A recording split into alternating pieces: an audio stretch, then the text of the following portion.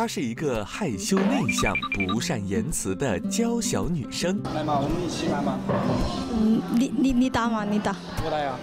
我看你打嘛。他是一个自信帅气、热情大方的大男孩。第一次见面，两人互生好感，给人的感觉比较可爱，想去保护的样子。看到我们男嘉宾在打台球的那个样子，觉得帅吗？还可以。但发生了什么，让男嘉宾说出这样的话？女嘉宾又为何泪洒现场？出了什么问题？情感专家当面和女嘉宾谈话。因为男人他会觉得，当一个女人对他没有兴趣的时候，表现就会是哦，是吗？我们的女嘉宾是否会勇敢地迈出这一步，挽回男嘉宾呢？凡人有喜之相亲遇上慢热女，马上为您精彩呈现。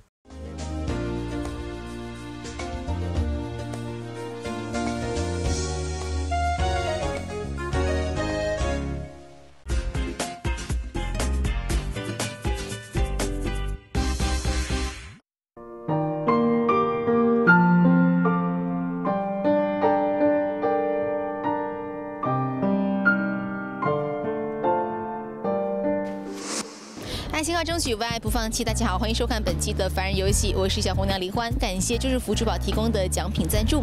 那现在呢，我身边是站着今天的女嘉宾，我们先来认识一下她。你好，你好，呃，该怎么称呼您？嗯，我是王叫王晓。本期交由女嘉宾王晓，二十四岁，身高一米五八，职业幼师，月收入四千元，婚姻状况未婚。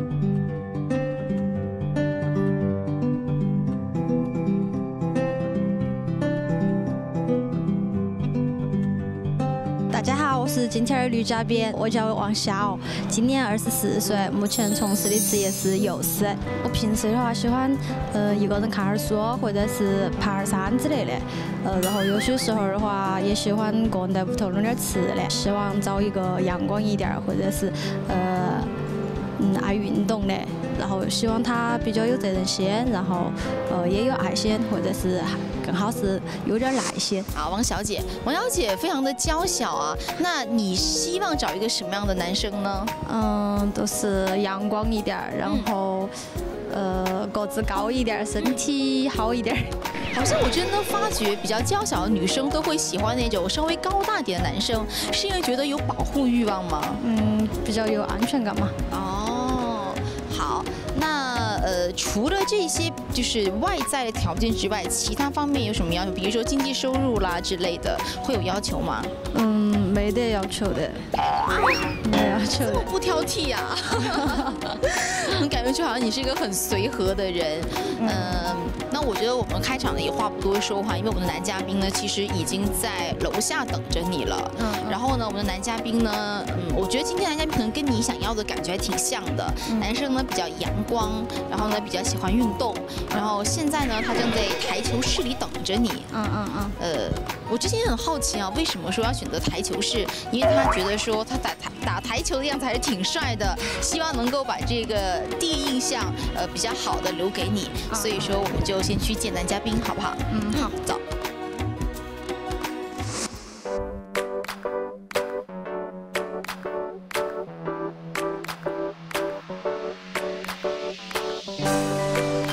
男嘉宾呢就在这个里面等着你了哈。呃，之前我跟你说了嘛，男嘉宾呢会选择在台球馆，是因为想要把自己最帅的那一面的第一印象留给你。那我们先进去看一下男嘉宾好不好？嗯好。来，我们走。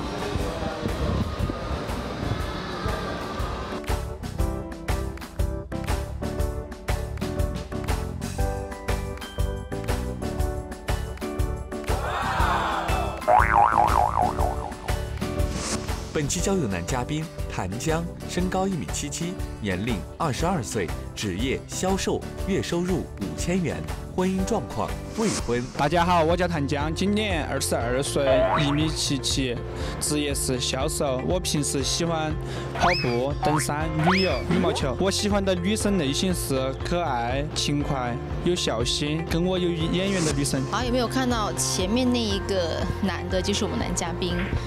来，远远的看一下，跟我说一下，看到我们男嘉宾在打台球的那个样子，觉得帅吗？还可以。那觉得第一印象怎么样？嗯，还行吗。还行。啊。嗯，对男嘉宾第一印象，他。身高也比较高，然后看样子也比较喜欢运动，然后是在台球史上，呃，总的说我觉得也还是可以。我要跟介绍一下了，这是我们今天的女嘉宾，就是今天的男嘉宾，来，二位握个手吧。哎，你好，你好。好，算是认识了。嗯，我要问一下，怎么想到就是要在台球馆跟我们女嘉宾来见面呢？呃，因为我平时的话比较喜欢打点台球，然后其他的爱好的话就是在室外了，这个是在室内。室外有什么爱好？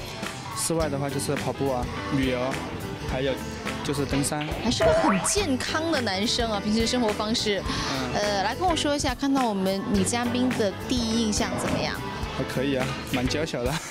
蛮娇小的，你这个是表扬人还是还是这是个褒义词还是贬义词？肯定是褒义啊，褒义。见到女嘉宾的第一印象是，给人的感觉比较可爱、娇小，给男生的一种感觉就是想去保护的样子。各位观众晚上好，欢迎收看今晚的凡人游戏，我是情感观察员飞桃。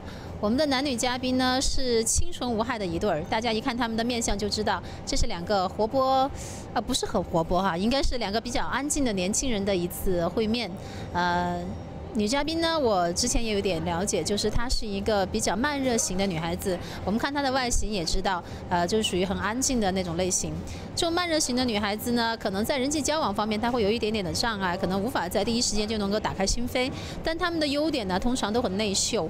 呃，因为内向的人总会有很多时间宅在家里，那么她就会发展出很多爱好，比如说烹饪啊、烘焙呀，或者种多肉植物。以上都是我在生活当中接触到的这种类型的女孩子的一些经验。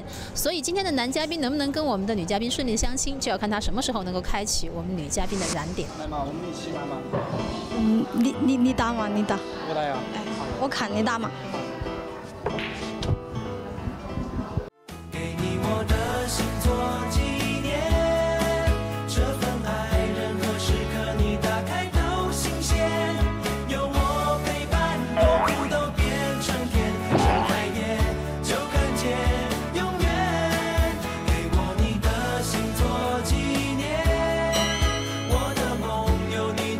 宾，你确定你今天是来相亲，不是来打桌球的？再这样下去，我们的女嘉宾要睡着了吧？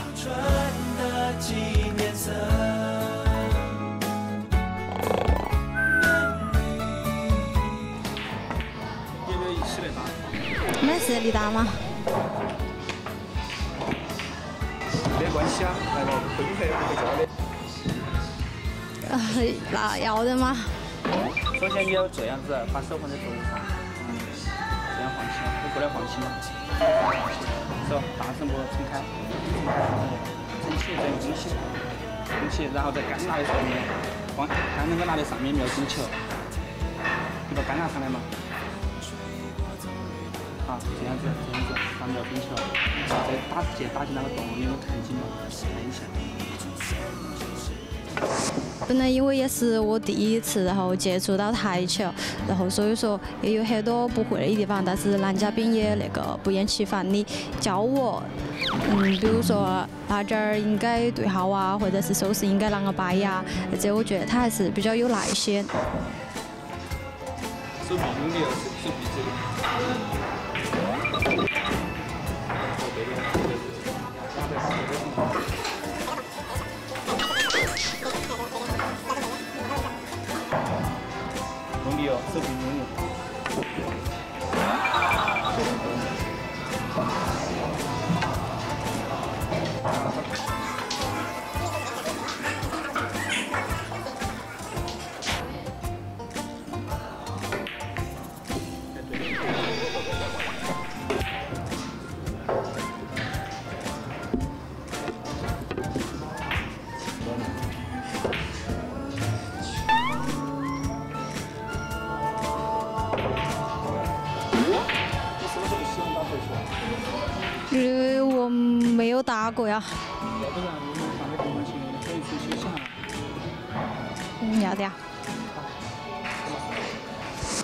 其实女孩子呢，在不管是相亲也好哈，还是在我们的日常生活中也好，我总是建议你们可以多多的尝试一些以前你没有试过的事情，比如说打台球、潜水，或者是去冲浪。你在这个过程当中，你可能会发现一个截然不同的自己。有可能你非常擅长做这类型的事情，但是你不知道，你可能因此错过了一个优点。而且在这个过程当中，你也可以向别人展示你自己，让对方来认识你。哪怕是可能你真的是一个打台球一点天赋都没有的人，可是呢，男生也会觉得你的参与会很可爱。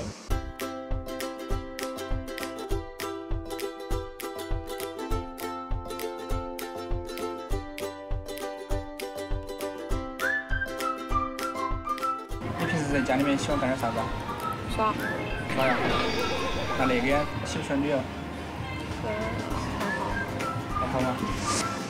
我们的男女嘉宾呢正在聊天，这个时刻呢到了我们摇一摇的时间了。拿出你的手机，打开微信，点击一下菜单，发现中的摇一摇，点电视，摇到你的手机。好的，跟我一起，一二三，摇一摇，锁定都市频道，都市有理都是你的。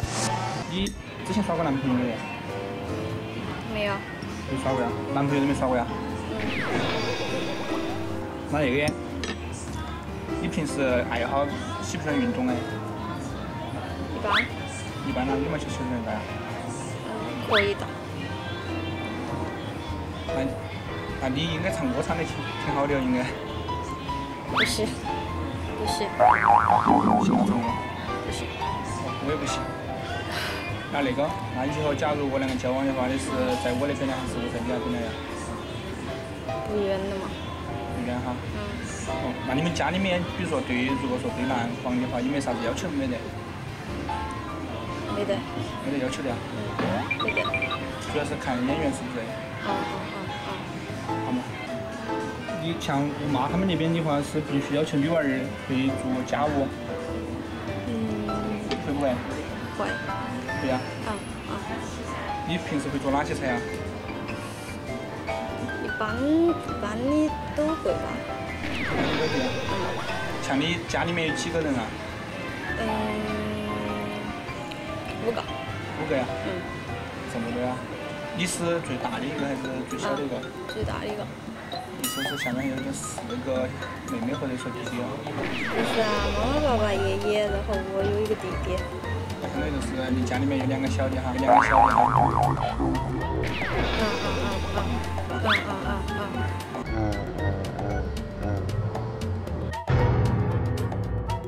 男女嘉宾，你们确定自己的数学及格了吗？那就是最近上映的那些电影，去看了没有？呃，看了《荒野猎人》。荒野猎人哈，哎，那个男主角好像还可以。还行吧。还行哈。还有那个，像平时你喜欢逛街不？嗯。男嘉宾努力找话题，想和女嘉宾聊天，可我们的女嘉宾好像不怎么买账。你平时健不健身？不喜欢，点儿不喜欢运动吗？嗯，不走健身房去。平时跑步跑不跑？偶尔。偶尔跑。我那边我已经跟你说的差不多了，你有没有啥啥子想问我的啊？没得。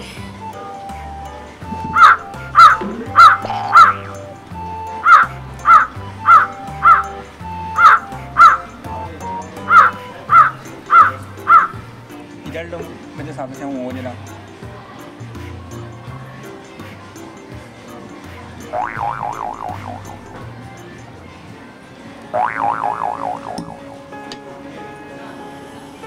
你都不想了解我一下呀？实际上，就是心感觉心头其实有些话可想跟他说来，就是没说得出来，是种就是太还是有点自卑嘛。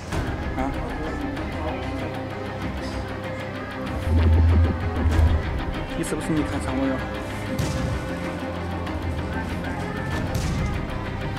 嗯？那你为啥子？如果说你，比如说想对我了解的话，或者说你想了解我的情况的话，你应该问我问题啊，或者说跟我说话，或者说给我讲你自己的情况，或者说你的爱好这些，你讲给我听，让我去了解你啊。既然大家都选择出来了，见了面了的话，如果说你这样子对我的话是不尊重我，让我们接下来的话是怎么讲话嘛？你让我怎么办嘛？一直都是我在这里。嗯。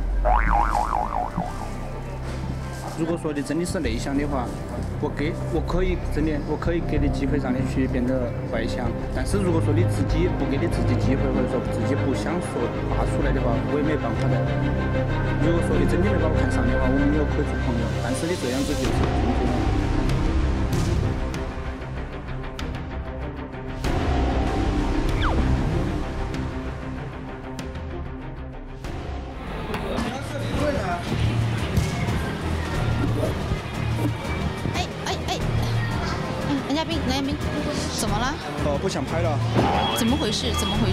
就是我跟他聊天的时候跟他说话，他一直不理我。呃，就是自己一个人，我说话的时候就在那里说嗯呃啊。啊，所以你觉得就是女嘉宾不尊重你，是不是？你觉得你一直在很主动跟她说话，但是得不到她任何的反应？嗯，对啊，他就是太内向了，感觉就是说话这些。那你现在觉得女嘉宾不适合你吗？还是说现在是生气的状态？我也不知道，反正我感觉他没把我看上，看上吧，反正感觉得我看上你先不。要着急，然后呢，也先不要下就是太多的这种定论哈。首先呢，我我能够理解你现在这种情绪，我也知道，当你跟一个人聊天，对方得不到对方任何反应的时候，这种感觉很不好受。呃，但是呢，今天都来到我们相亲现场了嘛，我觉得作为男生，你大度一点好不好？面对男嘉宾的愤然离开，第一次相亲的女嘉宾显得手足无措。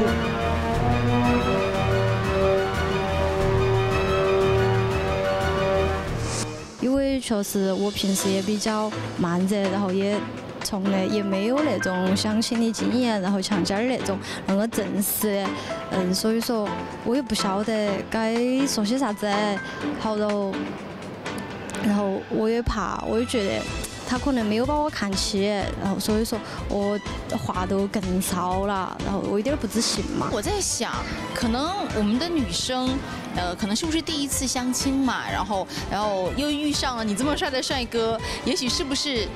可能是他自己内心比较胆怯呢。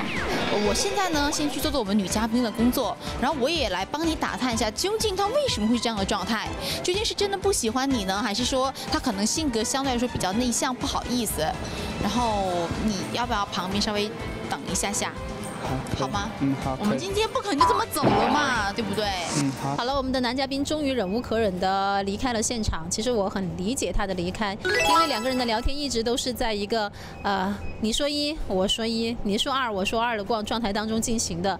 男嘉宾可能在这个时候内心会产生一种很严重的呃挫败感，会觉得女生可能对自己一点兴趣都没有，但是呢，出于对咱们栏目组合对他的负责，所以呢不愿意离开现场，但是呢就一直是这样的一问一答。呃，所以呢，所有的招式都放出来以后，全部都打到了棉花墙上。这时候我们男嘉宾的自尊心终于忍受不了，拂袖而去。哎，其实我蛮理解他的。女嘉宾，你再内向，在这个时候了，是不是要站起来追一下呀？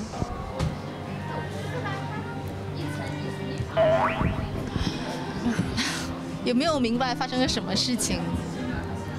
我我不晓得做啥子了。呃，那你知不知道为什么男嘉宾刚才最后会跟你说了一句？我好像在远远处好像听到他是跟你说一句：“你怎么是是是这样的人？是不是？”嗯嗯嗯嗯你知道男嘉宾为什么会有这种反应吗？我不晓得。还没有反应过来。呃，嗯，是这样的哈，我想问一下，刚刚就是你跟他全程聊天的时候，你是不是一直显得有一点点嗯不太主动？自己回想看有没有？嗯，是是，那能告诉我听为什么呢？我我我不晓得说啥子。你是因为害羞紧张，还是因为你根本就不喜欢我们男嘉宾，所以根本就没有兴趣跟他说话？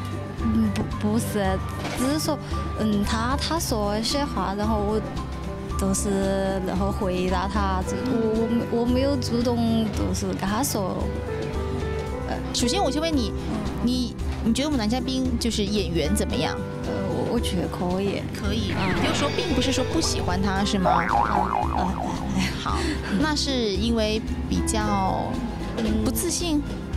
嗯，有有一点儿，而且再加上本来也是第第一次见面嘛，好，然后嗯，我我一般都是这种，都是一般，嗯，反正跟不熟的人的话，我话都很少，然后我我也打不开，就比较慢热一些，哎，但是熟了就好了。哎哎哎。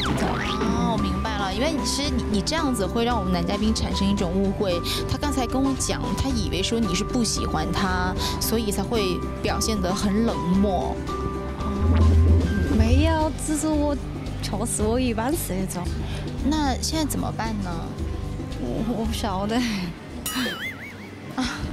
天呐，我看你这种楚楚动人的样子，就很可怜的样子，我也觉得好难为啊，好难为情啊。嗯，要不然这样好了，呃，你知道我们的情感嘉宾肥桃老师吗？看过我们节目应该都知道他吧？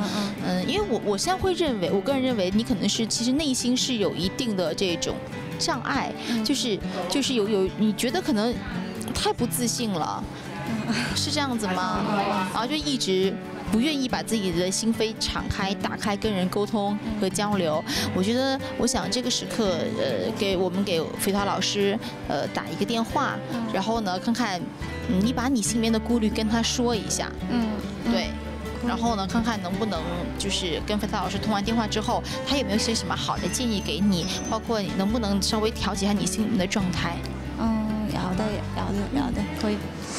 小红娘打电话给情感专家，希望能得到情感专家的帮助。了解了女嘉宾的情况，情感专家主动要求和女嘉宾当面谈谈。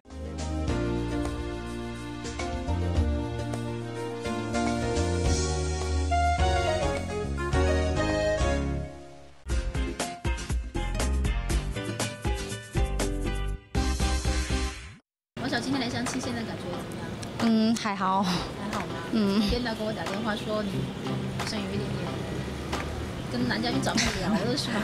嗯，我本来性格都有点内向，然后也是第一次见嘛，然后所以说，呃，都有点木。都不知道跟他说什么。呃，对头。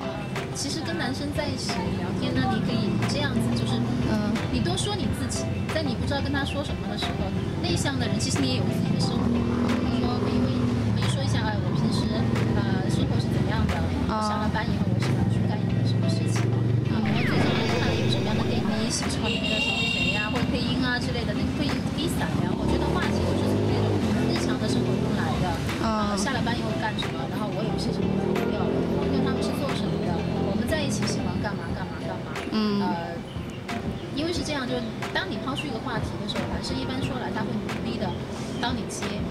我其实不太鼓励那种所谓性格内向的人说别人说什么你去他，有时候你经常会发现你会出现那种，是吗？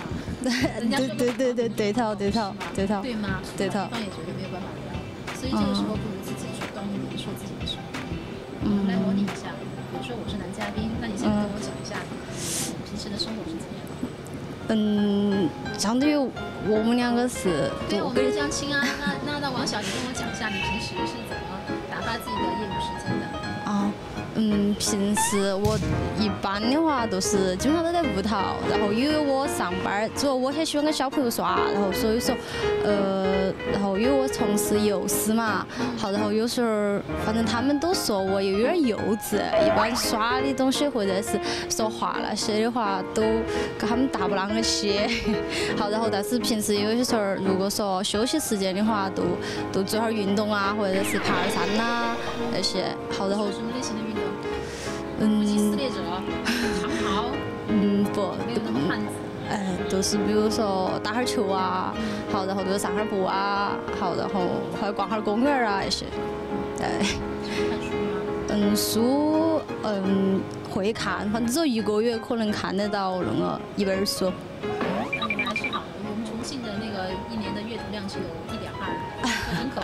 就是我们是远远低于全国水平，全国水平有时候确实心情不好的话，就想就书点儿去坐一天都行了，总的来说是性格比较好静的人。嗯，确实太安静了，那喜欢做饭吗？嗯，煮饭可以，比如拿手菜是什么？嗯，拿手菜都是那个红烧肉。厉害呀，红烧肉，你喜欢吃肉吗？嗯，只喜欢吃瘦的，然后比如说那种五花肉或者是三鲜肉那种可以。嗯，希望他能吃吧。对，那你看刚才我听的时候，嗯，可能因为我比较比较爱聊哈，我就嗯嗯嗯嗯，喜欢了解你生活当中的很多细节。但是对于男生来说，他可能会不太好意思像我刚才这样去问你，因为男生觉得我很细节的去问女生，女生觉得我在窥探他的生活。但实际上，你看你刚才我问到你，你也滔滔不绝的就可以更加聊。啊，生活是怎样的？我喜欢打球，OK，我喜欢打什么球？我的级别是怎样的？如果说男生说，哎，那我们俩去打一盘，你会不会把他杀的片甲流？那这些细节你就可以跟他展开来来讲。包括我一个月可能会看一本书，虽然说看的不是很多，但是保持有这个习惯。最近在读什么？包括喜欢什么作家？哎，我平时喜欢喜欢听音乐，音乐的类型是哪些？有时候你要自己主动的去制造一些话题，让男生来跟随，然后两个人在交流的过程当中。话题就会越来越多，但是最重要的一点就是，千万不要让男生觉得你对他没有兴趣，因为男人他会觉得，当一个女人对他没有兴趣的时候，表现就会是，哦，是吗？呃，其实你不是这样想的，但是男生他就会觉得我没有办法聊下去了，我会觉得很尴尬。也许，呃，你要知道，男人的自尊心是很强。他在这个时候可能会怀疑，是不是因为这个节目，所以他才被迫与我相亲，其实心里很不肥我，然后待会儿接受各彩的时候，说不定会把我描写的一无是，描说的一一无是处，所以男人他也会这样的紧张。所以即使在在你不知道怎么接他的话题的时候，眼睛看着他，然后露出那种非常真的这种笑容，然后他会觉得你很肯定他，啊，这种感觉会增加他的自信。嗯嗯。所以我一点都不觉得内向的人不适合相亲啊，或者是怎么样，关键就是那个话题的主导权。嗯嗯嗯，不要去跟随他，自己成为话题的主导。嗯，好，节目拍摄的当天呢，我是正好接到了嗯我们编导的电话，说相亲的两位嘉宾之间有一点小小的问题，正好我在附近，所以我就赶了过去。呃，其实我跟女嘉宾的接触呢，感觉到她是一个很可爱的女孩子，有可能她跟异性之间的交往的话，会觉得有一点障碍，不太。好意思说，可是他跟我聊天，大家可以看到，其实很放开。我们在那个模拟男女嘉宾聊天的时候，他也他也可以说出很多话来。其实聊天的技巧就是这样，当你觉得对方不熟悉的时候，你可以多说一下自己，我平时是在干什么的，我是一个怎样的人。对方也会因为你说介绍你自己，然后他会对你提出一些问题啊，因为我们都知道，你对陌生人发问总是会很紧张，因为你不知道什么时候可能就会踩到对方的雷点嘛。所以说自己总是没有错的。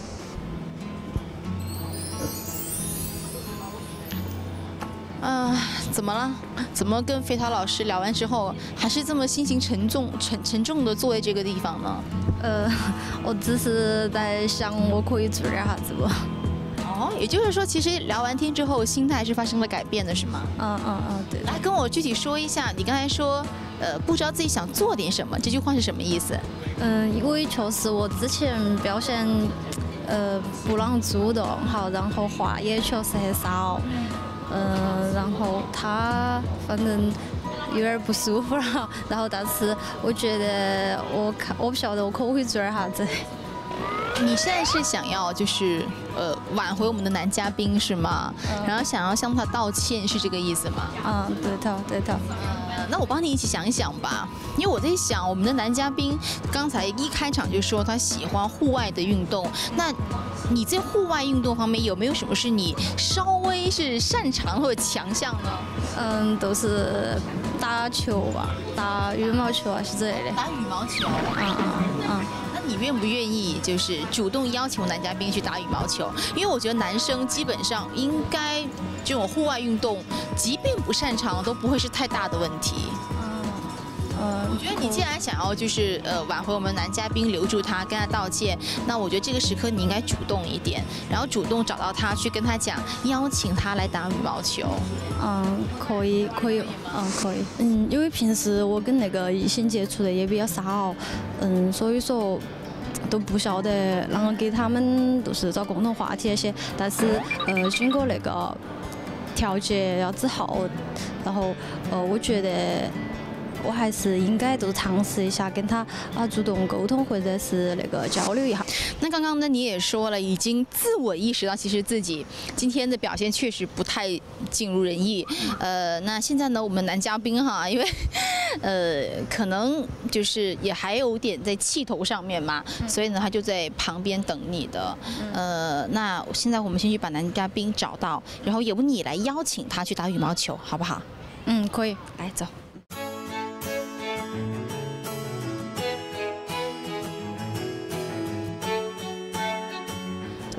我站到二位中间了。嗯，现在情绪有没有稍微缓和一些？好多了。好多了。嗯。然后那今天的相亲我们还是要继续进行下去。嗯，好，可以。好，非常棒啊，很大度。呃，来，这个时刻呢，我们的女嘉宾有话要对你说。首先，我还是先跟男嘉宾道个歉。嗯，不好意思，就是我确实平时的话是有点内向，然后第一次见是啷个不啷个打得开。呃，然后之前我也了解到，反正你也喜欢打羽毛球，所以说，呃，可不可以一起打一个羽毛球嘛？可以啊，可以，可以，可以，好，可以。这么快就答应了呀？肯定要。来，我我觉得这个时刻呢，我还是要再替我们女嘉宾再跟你多说两句哈。邀请你打羽毛球呢，也是我们女嘉宾自己提出来的，也希望说能够通过这一项运动，能够增进你们之间的感情。女嘉宾说了，就是她比较慢热，然后如果稍微熟了一些，它会好很多。嗯，好。所以你就多带一下我们女嘉宾嘛，好不好？好，可以，可以，好。嗯，事情过后，女嘉宾专门来找到我，给给我道了歉。当时给我道歉的时候，我的气已经消了。气消了之后，其实，在咖啡馆聊天的时候，是我太激动了一时。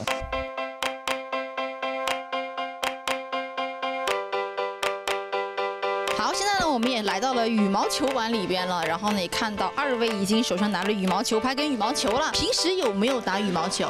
平时有，有打羽毛球。打得好不好？还好。还好，很谦虚，感觉是高手。没有。女嘉宾呢，有打过羽毛球吗？呃，有打，也就是说也算是强项了。嗯，还行。好了，今天二位是高手过招了哈。我觉得其实打羽毛球是其次的，主要的是呢，我们看看能不能通过这场羽毛球来增进一下你们之间的感情。好，我话不多说，来，赶紧吧。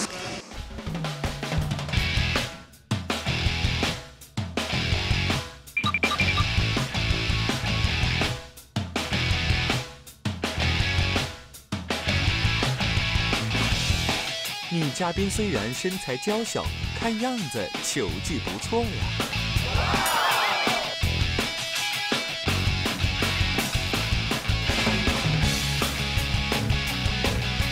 打羽毛球的时候，女嘉宾穿着高跟鞋，然后不方便打羽毛球，就把鞋子脱了，这是非常意想不到的事情，当时让我觉得很感动。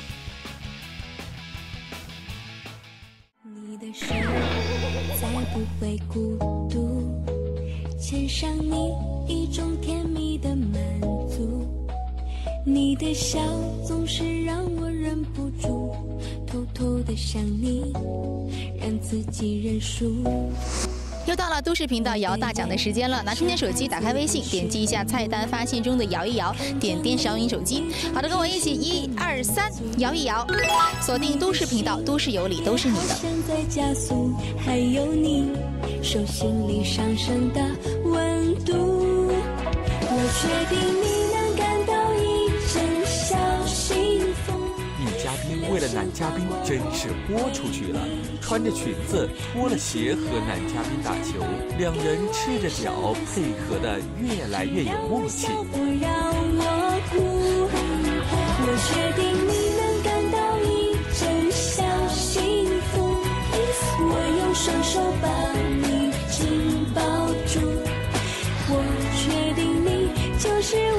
小幸福，爱你到世界都停。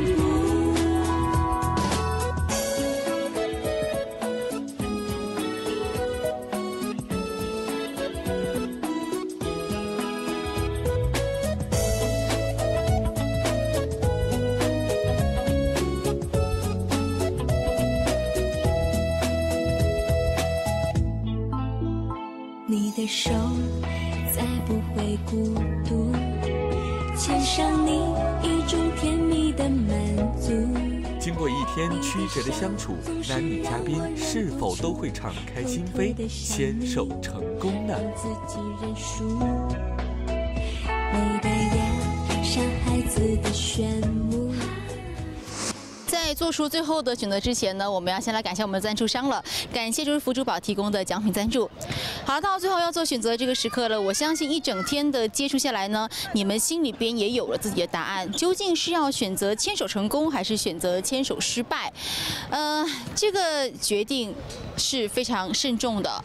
然后现在我要问一下二位，还需要时间来考虑吗？哦，不需要了。不需要了。女嘉宾呢？不需要，也不需要了。好的，也就是说，二位呢心里已经有自己的答案了。那我就来给你们说下规则吧。规则非常的简单，大伙呢二位就背对背的站着，然后我倒数三声，如果选择牵手成功，就转过来，面对着彼此；如果说选择牵手失败，则不需要转身。明白了吗？明白了，明白了。好。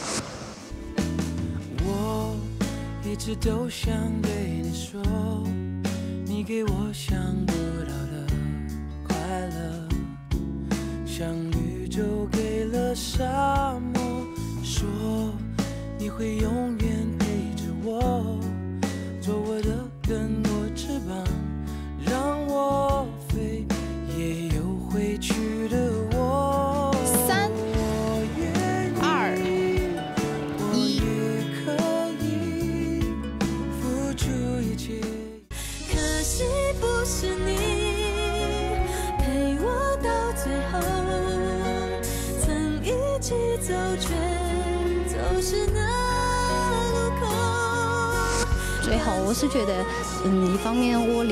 说是比他大一点儿，然后另外一方面，嗯，可能就是调节我自我调节的话还还需要一些时间，嗯，然后但是我觉得男嘉宾那个人整体那些还是比较不错的。我觉得女嘉宾跟我哈，就是感觉还是有一点不是特别适合，但是女嘉宾是一个特别好的女娃儿，所以说我在这里真心的祝福女嘉宾能在后面的日子里找到一个自己相亲相爱的男朋友。啊，最后我们的男女嘉宾呢没有牵手成功，呃，相信观众朋友们跟我一样也是在意料之中的，呃，因为虽然说是两个很有爱的、很可爱的年轻人，但是他们两个人，我觉得一个是个性的问题，另外呢就是阅历的问题，都非常年轻。其实。年轻有好处，也有坏处。好处就是我们还没有经历过什么故事，坏处也是因为我们没有经历过什么故事，所以我们跟人的交流会显得非常的，呃，苍白。或者是说没有什么内容，所以两个人到最后呢，没有没有办法再继续的交流下去，这个相亲呢也就到此为止。但是两个人的表现呢，在荧幕上也是有目共睹的。啊、如果对我们的男女嘉宾有兴趣的话，不妨联系我们的编导。节目最后呢，还是那句话，爱情要争取，为爱不放弃，不要走开，还有精彩征婚秀等着您。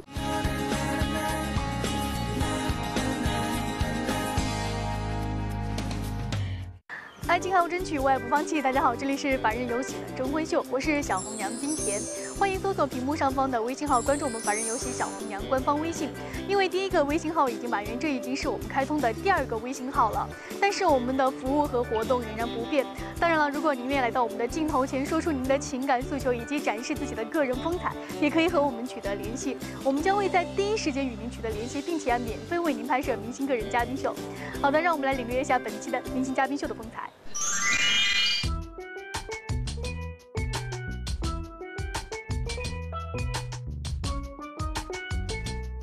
Hello，大家好，我是李诗瑶，来自云南的彝族姑娘，今年二十四岁，毕业于重庆邮电大学。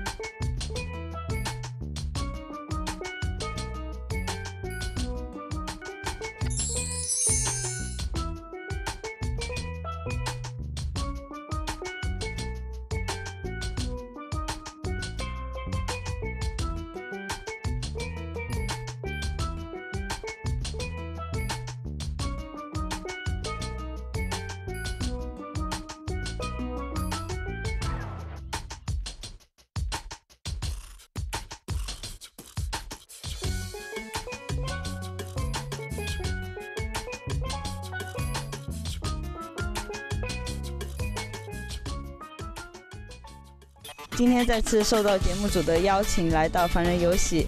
对于我的另一半呢，我希望他是一个有爱心、有责任感，呃，不赌博，并且共可以共同携手、共同进步的这样一个人。嗯，观众朋友，大家好，我是叫李凤，今年子二十八岁，是个货车司机。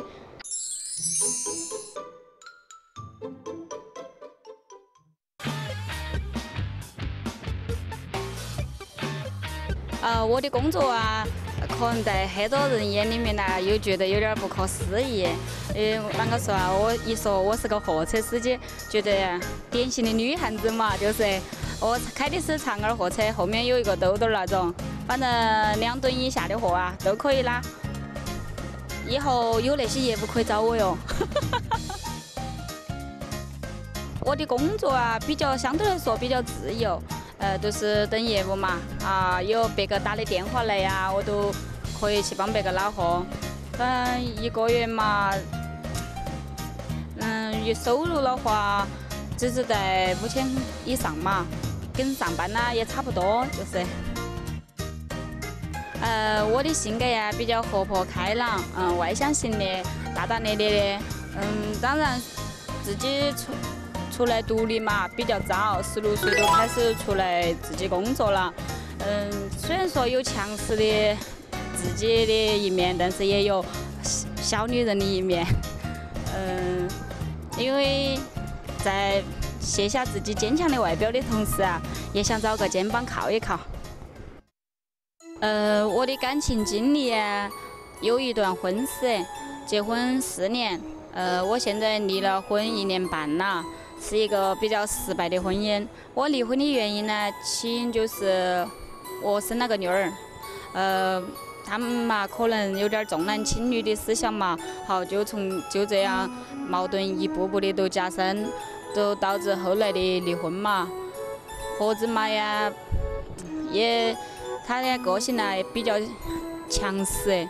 说让人呢有点受不了，比如说像我刚生了娃儿嘛，因为要喂奶噻，他都把娃儿拖到小区里面去耍，他都在小区里面的跟那些下面的人全部都说啊，我那媳妇儿又懒又好吃啊，一天啥子事情都不做，呃，都晓得打电脑，好吃懒做的。呃，我儿上班恁个辛苦，还回来弄饭给他吃。我觉得不管我是不是那种的人，你当婆子嘛的，家丑不可外扬，是不是？不应该在外面的指指斗斗的说我。到后来两个月两个多月，整个小区的人都认得到我，我认不到小区里面的人。别个都说啊，那是哪个某某家的媳妇儿，又懒又好吃的啥子？我我只想问一个哺乳期的一个女人，和谈何称得上一个又懒又好吃的一个媳妇？所以说，也是我最痛的一处。呃，我的择偶要求啊，就是男子要有责任心，不要有不良嗜好，对家庭里面负责。嗯，最关键的就是要懂得尊重我和爱护我。希望以后啊，我的婆子嘛能心情温和一点点，这样。有利于家里面的关系融合要好一些，也毕竟他在中间的要是使怪的话，挑拨关系很恼火。因为毕竟我经历过，也不想再有此再经历了。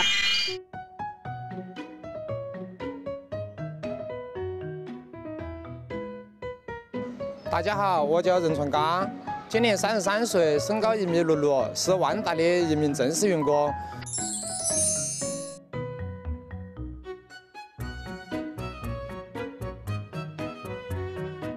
我在万达的岗位是设备和保养以及维修，每个月的工资是三千到四千五之间，然后公司买五险一金，相当于公务员的待遇。我老家是涪陵江北新城，现在在南平万达附近租了一套房子自己住，以后想在重庆买房子也可以。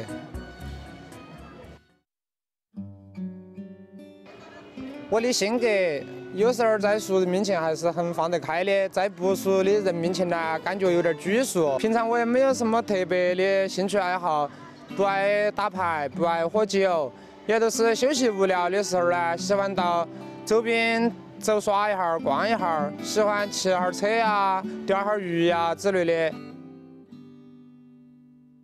我曾经有过一段感情经历，分手的原因是。人当时太年轻了，思想不太成熟，所以两个人分开了，一直到现在都没有耍朋友。现在成熟了，希望能带给以后的另一半有安全感。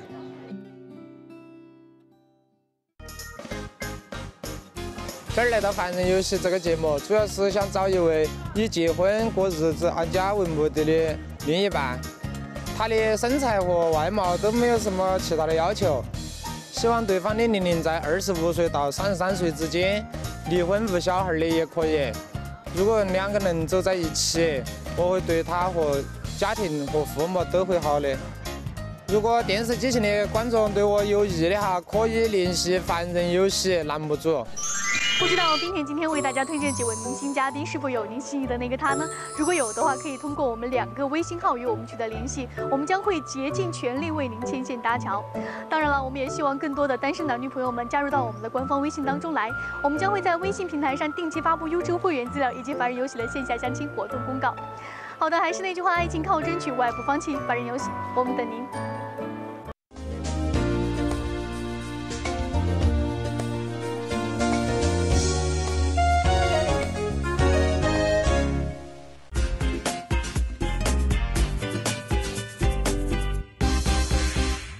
他号称自信哥，自信哥今天来相亲，要收服所有的少女心。他的优点就是自信。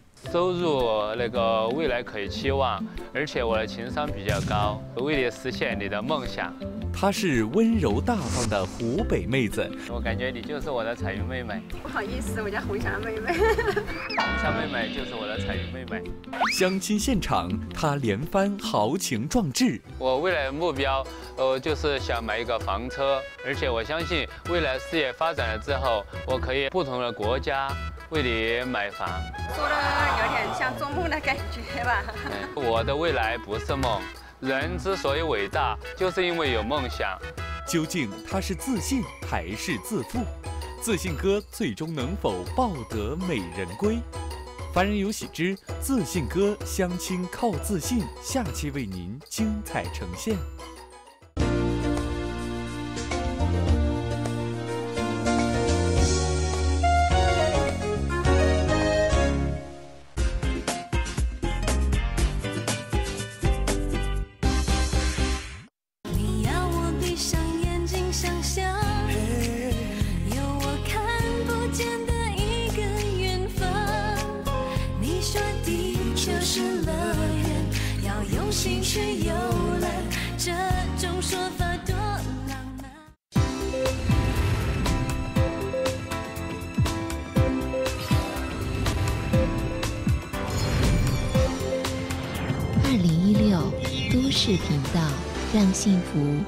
贴近。